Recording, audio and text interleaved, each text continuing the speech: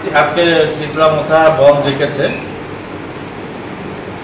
এই বন এটা সমাজের পক্ষে মোটেও হিতকর নয়। আমরা আমরা আবারও আবেদন রাখব, যারা এই বন্ধের পক্ষে প্রচার করছে বা বন্ধকে কেন্দ্র করে বিভিন্ন ধরনের ঘটনা সংগঠিত করছে, তাদের কাছে আমরা এবার আবারও আবেদন রাখব।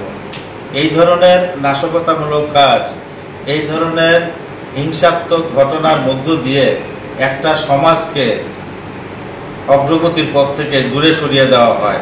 একটা সমাজ পিছিয়ে পড়ে, দ্রুত পিছিয়ে পড়তে বাধ্য হয়।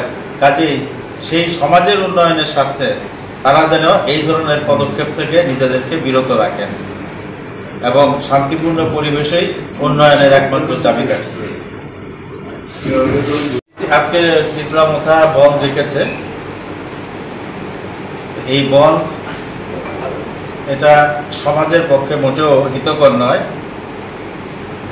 আমরা আমরা আবারও আবেদন রাখব, যারা এই বন্ধের পক্ষে প্রচার করছে বা বন্ধকে কেন্দ্র করে বিভিন্ন ধরনের ঘটনা সংগঠিত করছে, তাদের কাছে আমরা এবার আবারও আবেদন রাখব। এই ধরনের নাশকতামূলক কাজ, এই ধরনের হিংসাত্মক ঘটনার মধ্য দিয়ে একটা সমাজকে অগ্রগতির পথ থেকে দূরে সরিয়ে দেওয়া হয়। একটা সমাজ পিছিয়ে পড়ে, দ্রুত পিছিয়ে পড়তে বাধ্য হয়। কাজেই সেই সমাজের উন্নয়নের স্বার্থে তারা যেন এই ধরনের পদক্ষেপ থেকে নিজেদেরকে বিরত রাখেন এবং শান্তিপূর্ণ পরিবেশেই উন্নয়নের একমাত্র চাবিকাঠি।